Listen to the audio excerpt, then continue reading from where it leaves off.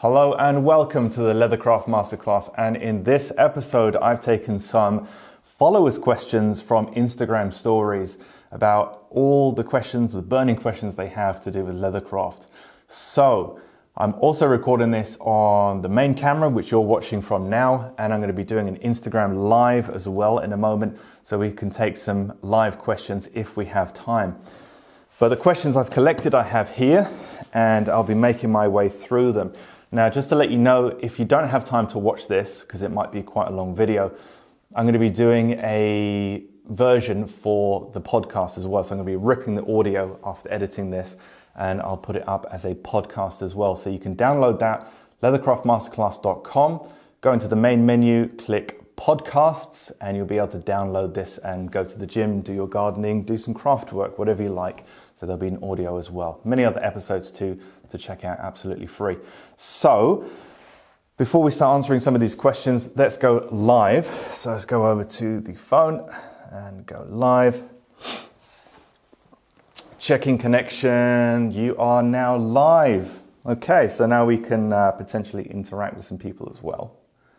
Okay, so these questions here that I have ripped from Instagram stories. Now, I think I had 120 something uh, questions come through, so I can't go through all of them obviously because we don't have time. Hello again. How's it going? All right, so I'm going to go straight in uh, with the first question. Now, I can't say who asked the questions because I didn't actually ask permission. Maybe I'll do that next time, but it's uh, anonymous, so I won't say who's asked. Good evening once again. yes. Bodega Brazil says, cute hair, mate. Oh, thank you very much. I'm glad you think my hair is cute. Right, so let's go on with some of the questions. Now, there's a few questions here. I've tried to get them as, as kind of dissimilar as possible, but a lot of these were repeats, as in I saw a lot of these questions. Um, and if a lot of people ask them, then there's probably a lot of other people that want to know the answers to them as well. So, question number one, let's dive straight in. Question number one is Why is my edge paint peeling off? Good question. Because um, a lot of people have issues with edge paint who come from like a burnishing mindset into edge paint because I've seen many, many times people try to smooth an edge by burnishing first and then applying edge paint.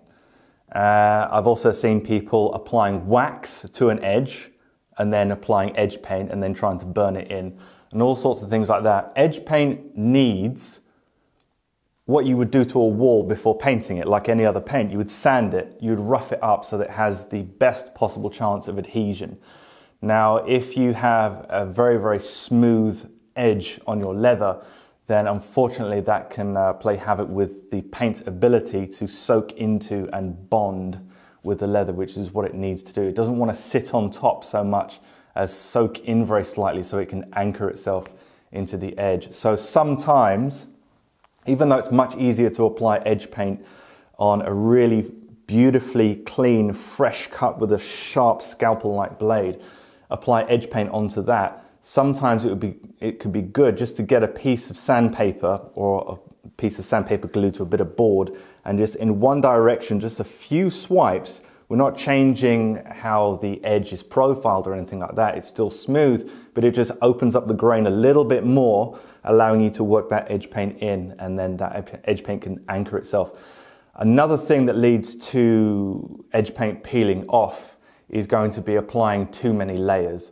So say for instance, you know, you're applying eight layers, 10 layers, 12 layers, because you, you know, you're really trying to get that smooth edge and each and every time it's not smooth enough. So you just a touch of more sanding and another paint trying to get that perfect edge.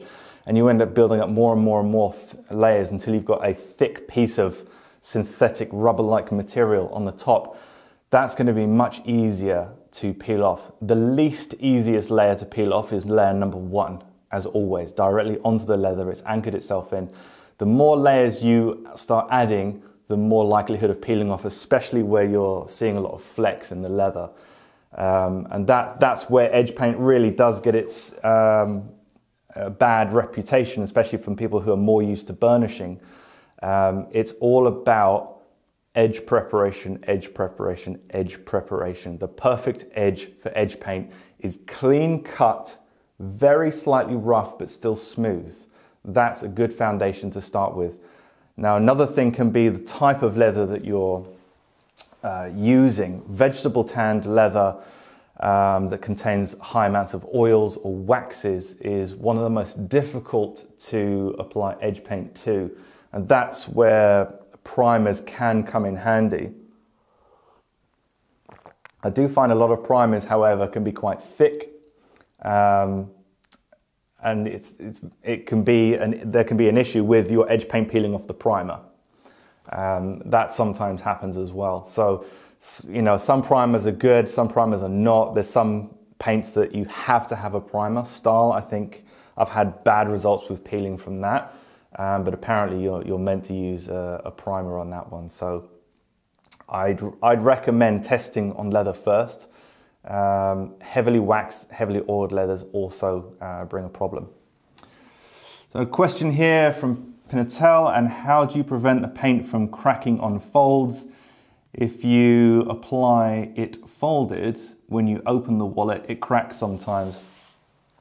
I think cracking on, on folds can also be, it's more likely to happen when it's thick. It's more likely to happen when you've got more layers added on there.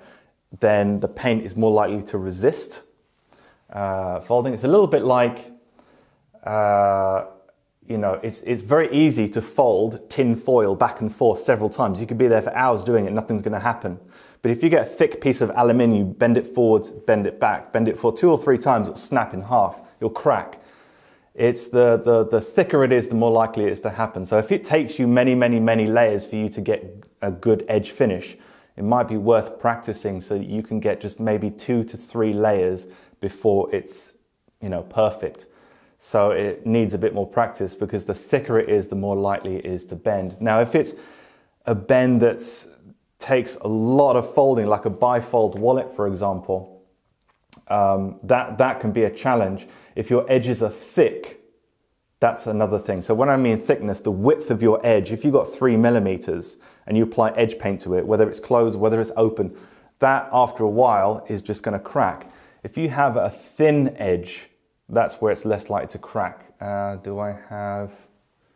No, I don't think I have my wallet here. No, it's nice, probably at home. But anyway, a thinner, a thinner edge, so the thickness of your leather, the thinner it is, the less likely, likely it is to crack as well. Another issue for cracking can be people that tend to use um, uh, an edge creasing machine with a spatula or just a, a regular single crease to, to heat the edge paint itself. Now, the issue with that can be uh, sometimes the heat can degrade the integrity of the edge paint itself. So it doesn't like, you know, when, when you see people drawing it along the top of their edge paint and there's smoke billowing off and all that kind of thing, it's too much heat. It's not designed to take that, that amount of heat. The only time you should add heat is when it's just been freshly sanded on your finished layer and you just, just enough heat to smooth it and that's it. Don't keep going over it and over it and allowing heat to build up inside the edge paint. That can degrade it and lead to a loss in flexibility, more likely to crack, peel off, etc. Uh, Wishton Leather says, awesome analogy, thank you. Got it, thanks a lot. I do not heat my paint. Cracks completely, yeah. Uh, too, much, too much heat is, is um, uh, using heat is a, is a is difficult because it's very easy to use too much heat and it takes kind of an experienced hand to know what is too hot and it's also going to vary um, from edge paint brand to edge paint brand. For example, Giardini, just I've never had great luck using heat to smooth those edges. Some people have, but I find it it's it's so close to burning before it actually does anything that it's very easy to go over over the edge. Uh, Alenzi Leatherwork says uh, depends on the paint brand. Giardini just said that Giardini is more flexible, more rubbery. Yeah, absolutely. I mean, I, I use Giardini is good, but yeah, you're right on the. It has that kind of rubbery feel, and I have used it in the past, and I have had clients mention it. What's this rubbery feel on the edge? And it's not in a in a bad way. It's just something that they did notice, And to be honest, you know, clients don't always notice a lot. They don't look at the angles and go, wow, you managed to get the angles on the rear side as well. No client's ever, ever said that to me. They talk more about the, the design, the feel of the leather, the smell of it, and all that kind of thing. But, but I have had one or two clients mention, what is this stuff on the side? Is this rubber? And it's probably not what I want to hear, to be, to be honest, especially if you've used some nice exotic leather. So I've, I've never had that ever since. So you uh, switched to um, Uniters, Uniters edge paint. Whereas Uniters seems a tougher, stiffer surface. Yeah, it's it's a little bit more smooth. When you feel it, it doesn't feel as tacky on the finger. Right, okay. So let's get into question number two. So how long have we been? My big camera says I've been 11 minutes in. Okay, so we've got an hour on this uh, on this live. Now I actually have a skiving knife here um, because the next question is the art of skiving, please. Uh, there's no question mark, there's an exclamation mark at the end of that, but it still comes under a question. The art of skiving. The art of skiving. Skiving to a lot of people seems uh, such voodoo that I think there's many, many people out there who don't explore more fine leather craft because they don't have the skill to skive well. And I think that this is, this is another analogy that I like to use for skiving, okay? People who try skiving and aren't good at it, 99% of the time it's because the blade isn't sharp enough. I've actually freshly sharpened a blade before given it to someone who's never skived, didn't know what the word skiving was, and I said, do this, and I pushed the blade along the edge uh, and showed you know, what it looked like. And that person, completely ignorant to what skiving actually is, looked at it, saw that it looked quite easy, grabbed the blade and did it themselves. And it wasn't quite as good as mine, as you'd probably imagine, because they've never skived before or know what it was but they thought it was terrible. I'll tell you what, it wasn't that bad at all. And they just did the same thing. They just held it at an angle, pushed it forward. They started to overskive quite quickly, but it was they they didn't they weren't aware of how difficult it normally is. If you know what I mean, ignorance is bliss sometimes. A lot of people put skiving up on a pedestal, but it really does come down to how sharp the blade is. Now, if I gave a semi-sharp blade to someone who's never skived before, they're probably just going to slice through the leather or themselves.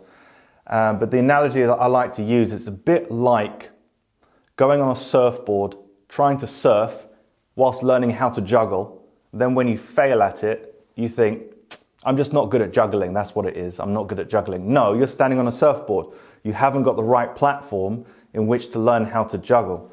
And that is skiving knives. If you're not able to get a knife skiving, skiving, razor sharp, it's not, you're not going to be it doesn't mean that you're not good at skiving, it just means the blade's not sharp. You haven't got the right tool, the right platform to learn how to do it correctly, if you know what I mean. I hope you understand the analogy, but most people can't skive not because they can't skive, because they don't know how to sharpen correctly. Um, now, I'll plug my own courses. Uh, Techniques of the Blade, that's a course where I teach how to sharpen and how to skive. But you'll notice for people who've watched that video course, I talk about how to sharpen first, not afterwards, because the most important thing is getting that razor razor edge. Then you can learn how to sharpen. So you need the right platform force, uh, platform first, which is a super sharp blade. Hammerhead uh, Leather says, absolutely agree with you on the sharp blade. The edge can go off so quickly.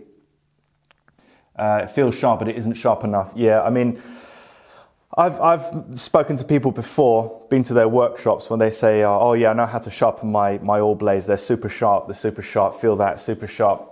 I push it through leather and it, and it feels like I'm just like trying to stab a brick wall.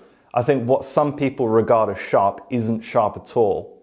Like when I draw this across the hairs, they should ping forwards. And that doesn't mean they come off as I do it. They sh- literally shoot forwards that's a sign that you've got a razor razor edge. That makes skiving easy, literally makes skiving easy.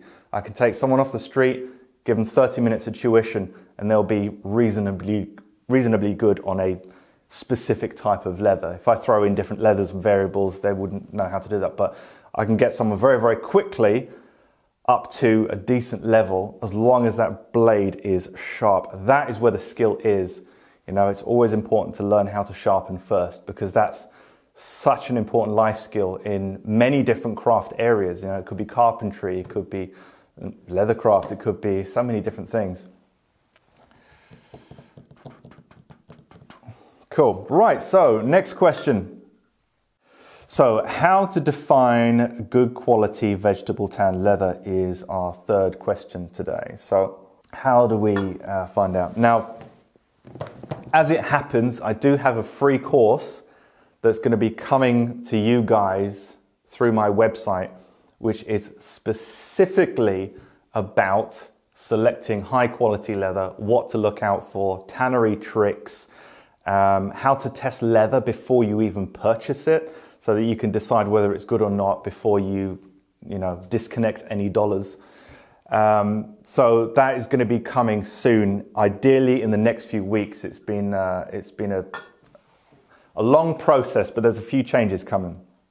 So that's going to be coming out. In the meantime, how do I define good quality leather? Quality is subjective. I think, um, you know, terrible, terrible leather is going to be good for nothing, but there's some types of leather that might on the surface not seem particularly good quality, but they work very, very well for a specific type of product. Like I could take certain types of leather that have been processed to make flooring out of, and it feels like wood. And if someone's to make a bag out of that, you know, even with the sharpest blade, it's really difficult to get your awl blade in there. They're difficult to punch, difficult to do anything on because it's designed for flooring, floor tiles, leather floor tiles, literally leather floors. Uh, personally, I like to use them for making boxes because then you get to use leather and it's almost like wood, if you know what I mean. But it's difficult, usually oak bark tanned. But if I gave that to someone and said, go and make a bag out of that or a briefcase, they would tell me that that was poor quality leather. There was something wrong with it. So uh, it's very subjective. Poor quality leather to me is leather that's really dry, uh, cracks very, very easily. Leather that is overly heat sensitive, so if you want to use uh, a heated edge creaser, it burns very easily. Um, I've had ones that it, burns or it's not quite hot enough to make a proper crease. I've had that before. Uh, leather that, um, what you said specifically, vegetable tan leather. Vegetable tan leather that is fully pigmented on its surface. I don't think that's that's very good. To me, that's like getting a, you know, a, a beautiful piece of walnut and then just painting it uh, rather than staining it. So I think lower quality leather is usually fully pigmented so that you don't see any blemishes on there. Um, and then it's, it's, it comes down to specific types of leather for specific projects, and that's a huge, makes a huge difference, matching the right leather to the right project. So, you know, bad quality leather is not as easy to get hold of anymore because it doesn't sell well after a while. There are some places in London that I've been that that that do have um, leather that's not particularly great, but most of the time when you're when you're buying online nowadays, you know, everyone's scrambling to get leather from the top tanneries and leather that everyone's going crazy for and that kind of thing. So I think we're really better off now than we ever have been with a leather selection. So it's not as easy to to buy poor quality leather in the first place. Uh, I think we're quite spoilt, to be honest, so I'm very grateful for that. Right, so um, to recap on that question, how to define good quality vegetarian leather, I've mentioned a few things there, but I do have a free video, uh, 38 minutes long, that's going to be coming to the website soon, and that's going to show you in detail what to look out for. But uh, as a kind of a tip, it comes down to how does it work? Okay, so when you work it, when you stitch it, when you skive it, uh, when you edge crease it, when you do a folded edge, when you do a burnish, all these kind of things. When I get samples through, the first thing I do is perform like a, a whole array of tests on it. And then once I'm happy it works excellently and it's the right leather for the right project and I like the look and I like the feel of it, then it's the right leather from me. And then I give it the label of, you know, the stamp, that's good quality that's something I'm going to keep on my list as a, a go to leather for that kind of project. So it comes down to testing, a lot of testing. Uh, fourth question. ah, sorry, the, because my camera's so, uh, my uh, phone is so far away. I'm really struggling to see. Uh, our scenario, I hope I said that right. Quality is subjective. Yes, absolutely. Uh, Bespoke WH says thread. Yes, I will be getting there. Uh, Austin J. Nixon says, Hey there, friend. Hey, Austin. How you going? Uh, question number, where are we? Number four. This is an interesting one. Um, some of you will be interested, some maybe some of you won't. This is more of a like a business question. How can one man or woman, uh, how can a one man business optimize efficiency to scale up and grow and stop being a side project? That's an interesting one. But the very fact that you threw in, you know, optimizing business efficiency, scaling up, um, tells me that you're probably familiar with a little bit of business or you've looked into it. So you're already uh, a leg up uh, from people who say, How can you make money from this? Uh, it's, it, it's not as difficult as people think, but people always think that it's all about just the leather craft. I'm going to make what I want to make, and then I'm going to take pictures, I'm going to put them on the internet for people to see, and I'll be able to uh, flip the bird to my boss in a week. Doesn't happen like that. Uh, it comes down to understanding that what you want to do as a choice comes last. What people actually want comes first. So it's a deep dive into the world of speaking to potential customers, going on forums for people who appreciate the finer things in life and seeing what your ideal customer looks like, sounds like, quacks like, understanding them and then building an idea of who you're marketing towards, who you're talking to, and uh, really understanding who your potential customers could be and where they are and where their attention is going, and how you can somehow get what you do in your brand where their attention is, and explain to them very simply why you're good, why you're better, or what you have to offer that's unique. Then you can start thinking about designing products, building a business. Um, but what a lot of people do is take the thing that they should be doing last, which is designing the products, and they do that as the first thing. Was the first thing is understanding the end user and then working back to creating products. You know, um, some are, you know, i and I've said this before. I think wallets and card holders are great. We've got a few more years with them. I, other than keeping a card holder in my car, I can't remember the last time I used a card. I use my phone for everything. When I go in to buy expensive things or cheap things at the supermarket, I'm tapping my phone. If I'm buying online, I'm on my phone or on my laptop. I think, you know, card holders and wallets are great, but a lot of people are really holding on to tech that's going to be obsolete as a way of creating leather goods. So I think a lot of people should be looking to the future now and going, what's the new tech coming out? What are people using more? I mean, there's there's some places, you know, like France, for example, and there's a few other countries that still use coin pouches. I'd, if I needed spare coins right now, I'd probably go looking underneath, you know, the car mats or something. In my, car. I wouldn't know where to get it. I never use cash for for anything. Um, so I, I think we really need to be looking as a leathercraft community towards the future a little bit more. What are people beginning to use? what's trending, what's coming out, what gadgets are coming out that are going absolutely wild that people could be using leatherwork items for. You know, like people that got onto the who got on early into creating watch straps for the the um, the Apple Watch. Is it Apple Watch? I can't remember what it's called. Basically, that um, did very well. People that got onto uh, creating a little shell for the AirPods they did very well. Um, people, you know, looking towards tech as a way to, for creating leather goods because there's a lot of things that are going obsolete now, and I think we should all be looking towards the future a little bit more. But that's my personal opinion.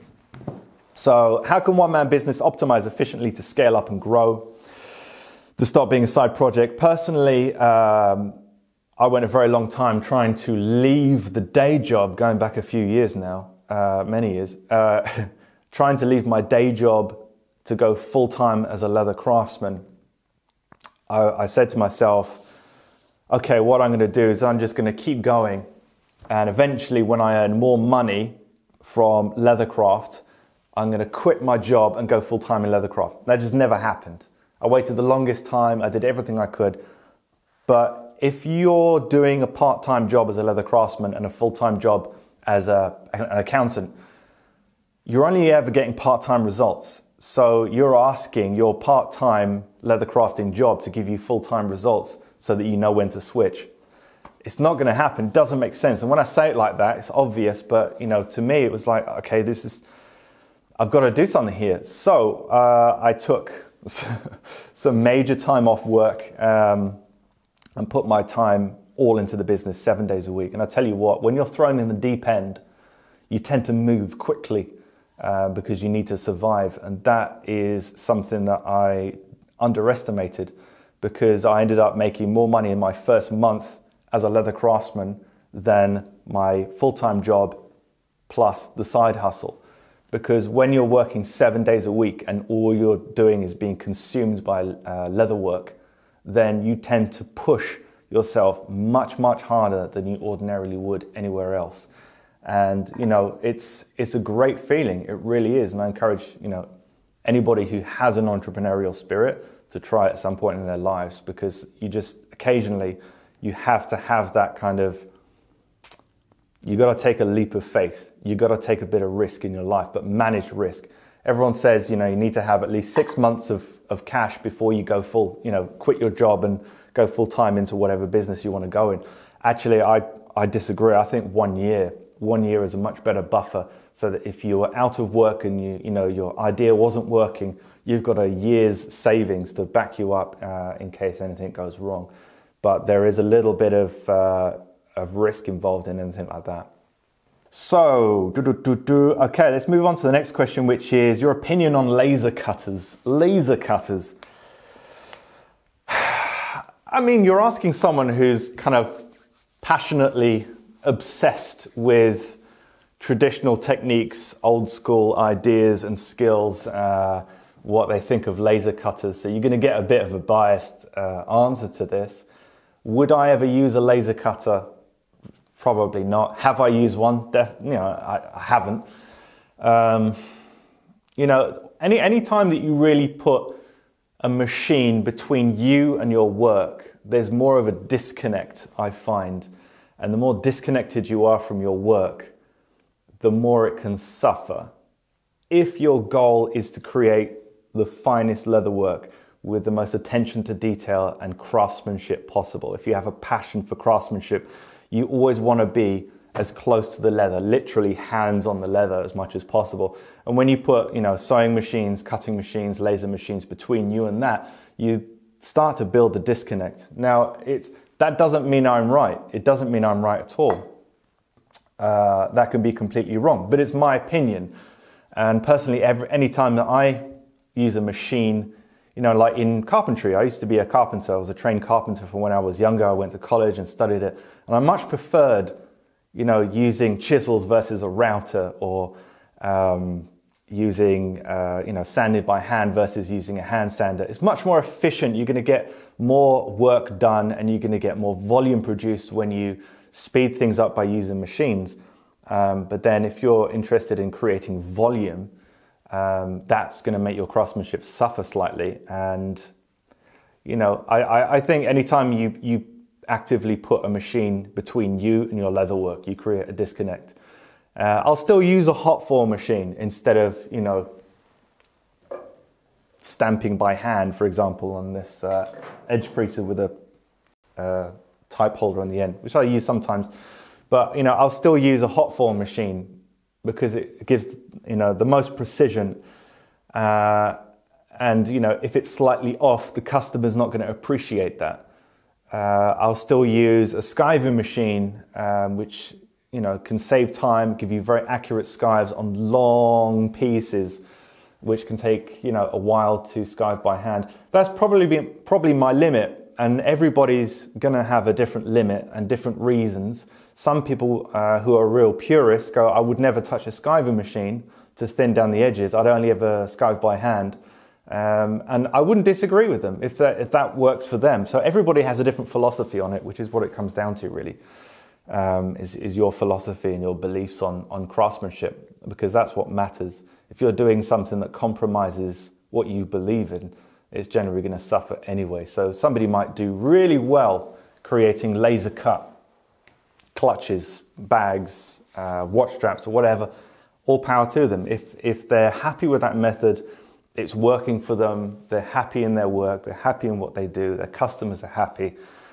Then you know that's that's what they should be doing. Um, so, what's my personal opinion on laser cutters? I wouldn't use them. I don't know what it does to the edge burning wise, or if that affects them, or if you have to sand it afterwards to get rid of the char. I don't know, um, but uh, I probably wouldn't use one. Okay. Okay, there's a conversation going on about burning skin. What's that? Mama don't know? Mama don't know. Okay, that's a cool name. Sorry, it's so far away I can't read it. Do you hand cut everything or use die stamping? You know, I, I hand cut everything. I, I, I cut by hand, mainly because I enjoy it. I really do. I love cutting leather. I love the challenge of it because if you get it wrong, you can't, you know, click undo. And it really pushes you to focus. And I love things that really push me to focus because it's almost like mindful meditation sometimes. Like one of the great joys that I have in starting a leathercraft project is the initial cutting out phase, taking my patterns, deciding where they're going to go, you know, weighting everything down, and then just, you know, taking my time because my mind is thinking about nothing else. All your problems, all your concerns, all the stresses go away because you can't think about anything else but cutting. It's like sometimes I like to use a straight razor to clean up the beard because if your mind wanders, you'll have eight pints of blood coming out your neck. So some some things that really force me to f- laser focus. I love it. Um, so yeah, I, I, I, do it by hand. Now, if I was to start a business now, uh, my main my previous business is kind of in stasis at the moment. But if I was to start Finch England back up again and start producing again, uh, and I had a certain number of uh, bags or cases or wallets that were doing very well, would I spend half my day cutting out all the components? Uh, probably not. I would actually probably switch to die cutting uh, to speed up the process through necessity. I wouldn't like it because I enjoy that phase, but I would also appreciate that I just can't get enough done uh, unless I do stuff like that, especially if you're hand stitching and doing things like hand skiving and doing a lot of hand work. There are some processes. Or Alternatively, I would hire some company in the studio and uh, get somebody to come in and teach them if they didn't already know how to click or how to cut out patterns and use the person as the machine, as long as they were good and I trusted them. Okay, cool. So, uh, just going to mark some of these off to make sure that I don't go over them again. Uh, da, da, da, What's the best way to apply edge paint? So another edge paint question. What's the best way to apply it? In all, in all honesty, the best way to apply edge paint would be uh, whichever way you're most comfortable with. Now that could be using a scratch awl or round awl, okay, like that, which is a scratch awl. Um, you could, what else do we have here? You could use an edge paint roller something like this, which has some knurling on the end, so like a grippy feel to it, and it rolls, so it's on bearings, so you can roll your edge paint on. Uh, you can use this, which is a bamboo skewer. Uh, I do this for, for larger edges sometimes, where I can dip a bit more in, so it has a bit more of a reservoir on there. Um, I put a bit of beeswax on there and heat it over a flame, and then wipe the excess off, which makes it non-stick, so I can peel the edge paint off afterwards. Or you can use uh, something like this. This is uh, actually water in there. This is testing for testing heat, but something like these, which have a little tiny spout on the end there, um, almost like a, a syringe. Uh, so you, I can place edge paint down and then draw it along. So that's another way of doing it. But which, you know, sometimes I will switch from one to the other depending on the type of edge. If it's a larger edge, then the this little bamboo skewer or an edge paint bottle so I can put more down. Otherwise, I'll be there forever. Uh, you know, so I'll switch it around, but it comes down to practicing and uh, finding what works best for you. Simple as that. Simple as that. Um, so, what's the best way? Whichever way works best for you. So, next question. Da, da, da, Someone asked, "Has the video frozen?" Uh, hasn't. Someone else says, "Hasn't frozen for me, pal." Okay, so I guess that's your Wi-Fi. Sorry. Uh, which is better to stitch, backwards or forwards? So I've seen this debate, this debate before. Thinking about it now, I remember there was uh, I won't say his name. There's a French leather craftsman uh, who's on Instagram, uh, and he was uh, arguing with a Russian craftsman who did a video where the Russian craftsman was stitching forwards, and he took exception to that and there was this huge argument. That's not the way we do it in France. That's not how it's done. That's not how you should do it. And the other guy was saying, "Well, I get the same results. So what's what's the problem if I do it differently to the way you do it?" Um, which is a good question, right? Uh, and the French leather craftsman, who shall remain nameless, was just saying, "No, that's not the way it's done." But no one was saying why. Why? Why is it better to stitch backwards than it is forwards? And while I wouldn't say it's better, there are two reasons that no one ever seems to talk about or know about, but people who advocate stitching backwards just don't seem to know, but they will just defend to the ends of the earth that you must stitch backwards as you, as you go. There's two reasons uh, it's, it's better to stitch backwards. Number one, if you look at left handed people when they write, now this isn't my right hand, this is a mirror image for you guys on Instagram, okay? This is actually my left hand. When people write left, they tend to do it so that their hand misses the page, right? Because what they don't want to do is smudge, because we write in English from left to right, and most languages left to right. So if you're left handed, your hand tends to smudge your work. Now, if you're stitching, it's very similar.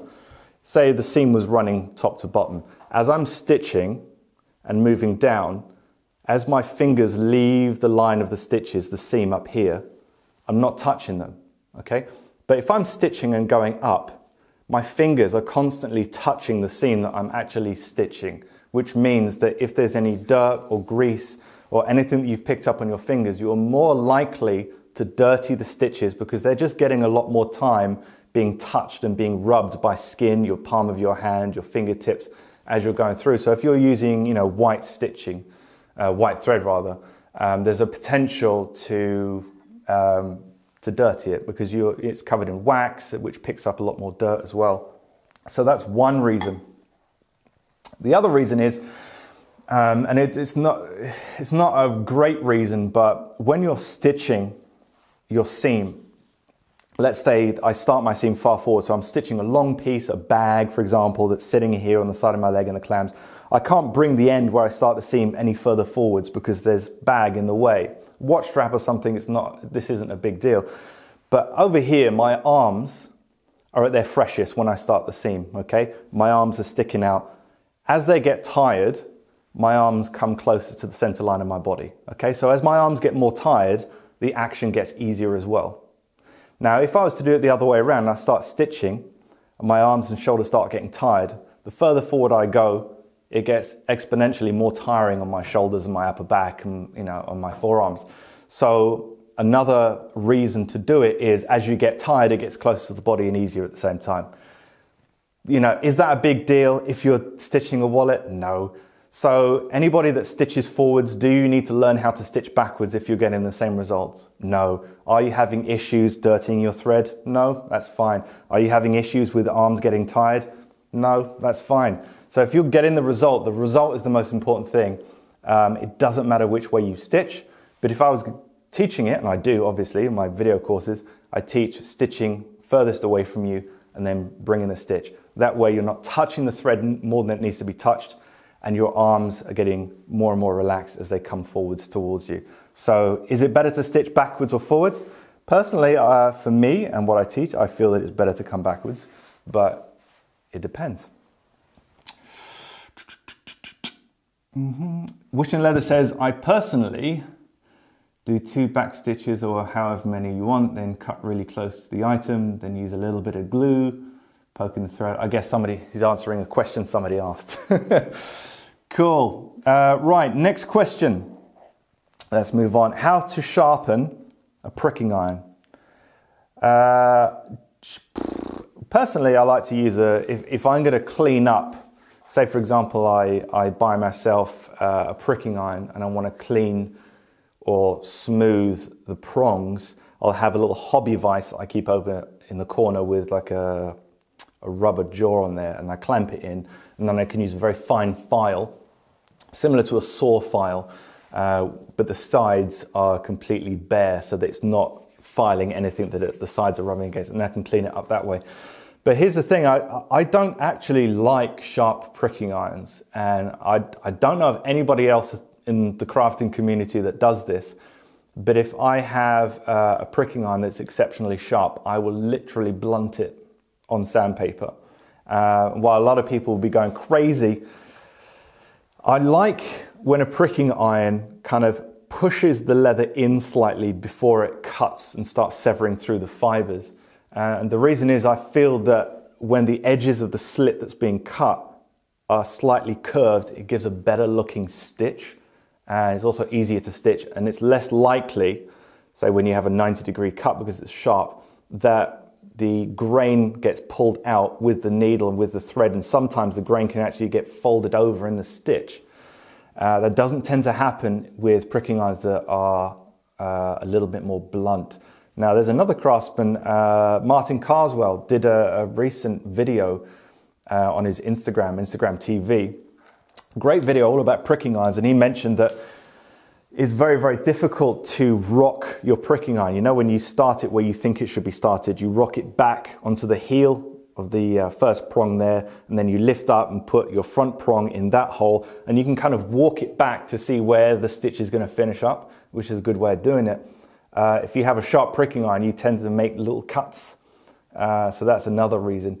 But yeah, I d- I don't tend to like sharp pricking irons uh, very much, uh, and it can also make, in some leathers, make the slit a little harder to see. But hey, horses for courses. Everyone has a different um, different opinions, and it's it, what what are you satisfied with? The result that you're going for? Are you getting it with the way that you do it? Absolutely fine. So it's just what I've found to be true, and I, I prefer pricking irons that aren't particularly sharp. Now, a lot of people send pricking irons back if they don't cut themselves with it you know, some people really love that sharp blade on the end and uh, complain if, if it's not if it's not sharp enough. To me, no, it's uh, it's the other way around.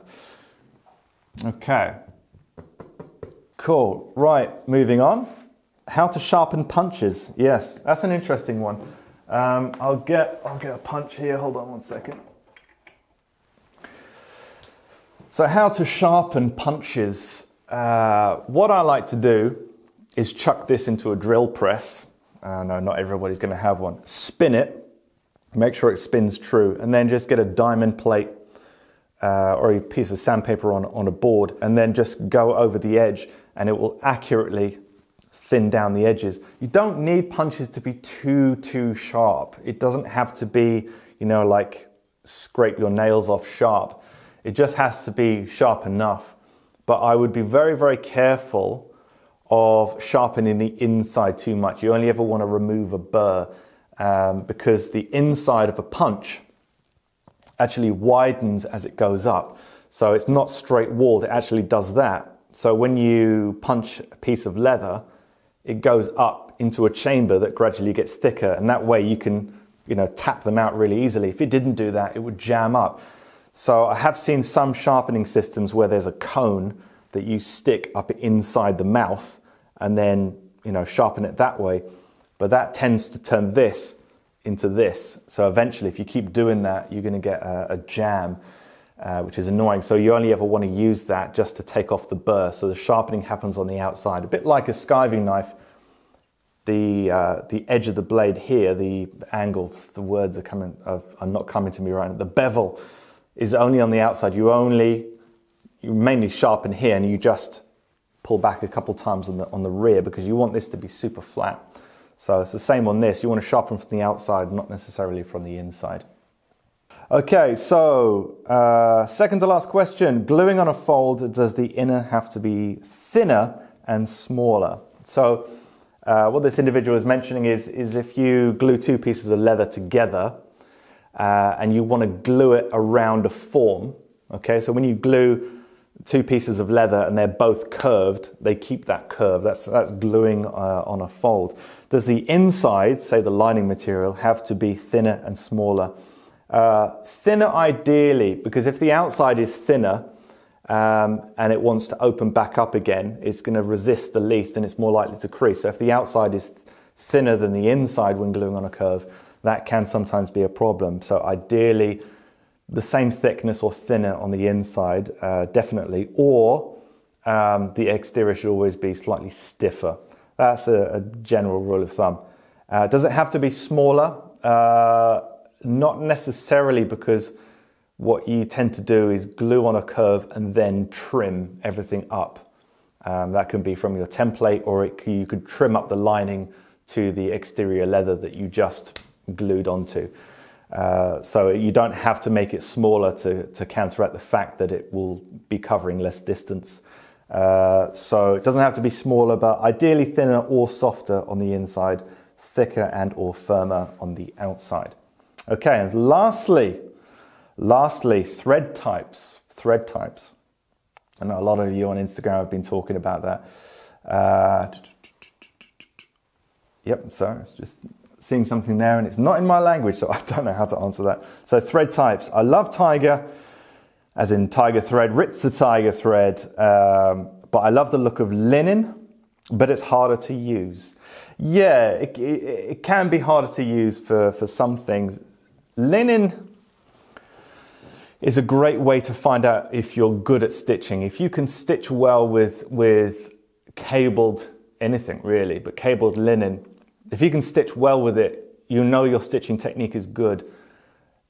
With tiger thread, whether your technique is stitching is okay or it's really good, it tends to look the same. It's what I call a very forgiving thread because it's flat. It tends to be uh, lay a bit more consistent. You'll never get that fine look with tiger thread, in my personal opinion. You won't get that finesse.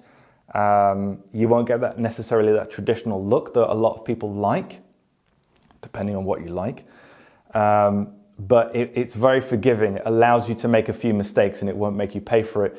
If you change the order that you do things during a stitch, or if your stitching technique is not spot on, if you want to have nice, consistent angles and a very consistent seam, uh, cabled linen, especially, is going to expose you very quickly, and you'll get to see where you're doing things wrong which can be good because if your mistakes are highlighted very clearly, you know to do something about them, uh, which is good. Now, if you find linen difficult, it just means you need a little bit more practice. Um, but if you like tiger thread, and in anticipation of this, uh, I got these out. Now, these are from Rocky Mountain Leather Supply. Um, they sent me a sample of these. It's, it's, not my kind of thread. It's a little bit shiny. It's, it's what you call polybraid. Some people like it, some people don't. What it is, is braided polyester like tiger thread, waxed, but it is produced in a way that's a bit more rounded, so it doesn't lay as flat. Uh, it looks, in my opinion, better than tiger thread when stitched. It doesn't look that dissimilar to regular cabled polyester or some um, linen threads. So it's a bit of a compromise. But if you like tiger thread, and you're not that keen on the way linen looks or the way it stitches or you're having trouble with it, uh, give polybraid a try. It's just a rounded braided polyester, uh, which might work a little bit better for you. I don't know why it, it took so long to come out with, with this because it does seem uh, an obvious uh, answer to that, doesn't it, really? Okay, so. Oh, he is saying nice job. Excellent. All right, guys. Well, is there any more questions you guys have on the live before I sign out? There is a few minutes left, but not too much longer. cool. All right. PNW EDC says Tiger's nice when you roll or hammer it afterwards. Yeah, most threads are going, to look a little bit more neater, a little bit more consistent when you uh, when you tap them down. It, it really depends on what on what you like. I don't like it. I don't like the look of it. Never have. Uh, but on some projects, especially like outdoor projects, like uh, knife sheaths. Um, pouches, things like that, where you need a little bit more toughness and it's not so much about having that traditional fine leathercraft look, then it, it actually works quite well. Uh, or you're doing a stitch that's straight or below the surface of the leather, I don't think it looks too bad. Um, it's just uh, it's just my snobbery. Simple as that. There's no there's no logical reason. But then again, I didn't start leathercraft for logical reasons we start it because it's something that we love to do and something that we believe in and, and makes us uh, uh, makes us feel good, you know. And that, you know, a lot of things we do are completely illogical and liking one type of thread over another when it's all it's doing is holding pieces of leather together. It's really illogical when you think about it, but uh, this isn't based in logic. How do you finish with linen thread? Uh, uh, it's not here. Okay, all right. Uh, usually, I have a little bit.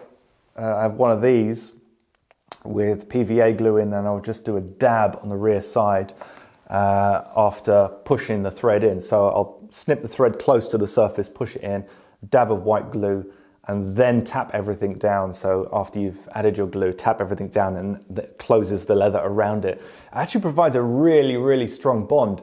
Even after like five minutes, like a couple times I've had to redo a seam for whatever reason. I need to take it apart again.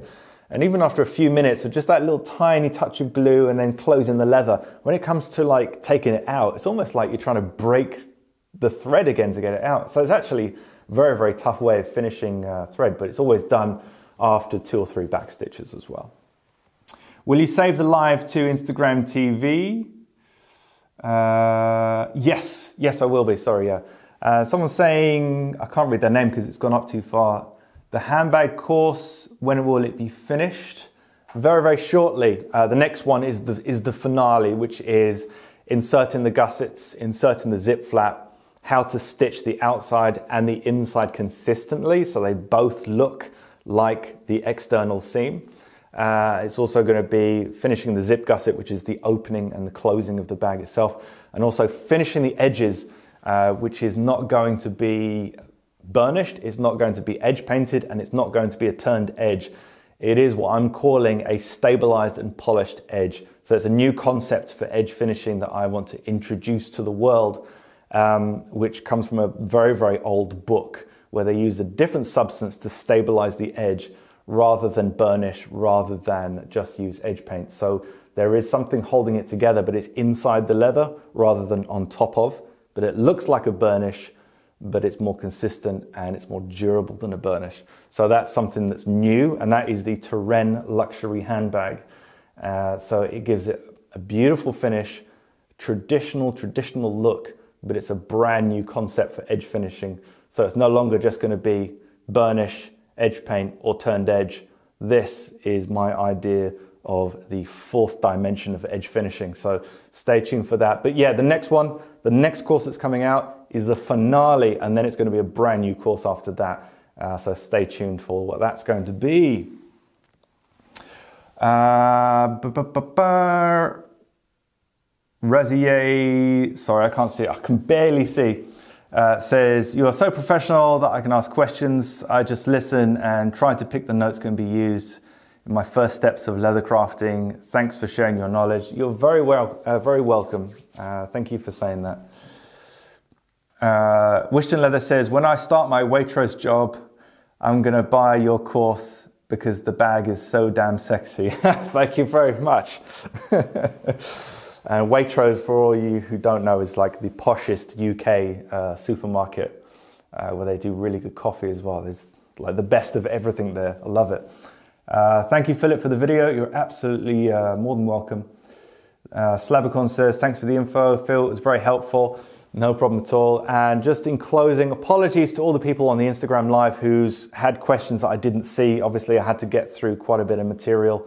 Um, so it's not like a regular live where it's just you and me talking, but this is going to be available afterwards on Instagram TV and it's also going to be on YouTube.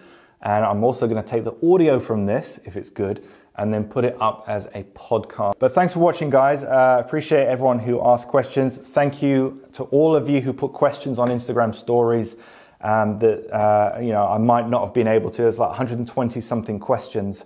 Uh, I couldn't put all of them up on stories because uh, it wouldn't let me. And also, I, I, couldn't discuss all of them, so it was just the ones that kept repeating. Those are the ones that I focused on today. I hope you found it helpful. If you want more information on how to work leather, how to get started in leather, how to do beginner, media, and advanced projects, head to leathercraftmasterclass.com, take a look at the courses, and see if there's something that you would like to do in those projects as well. So, again, thanks for watching, and I'll see you next time.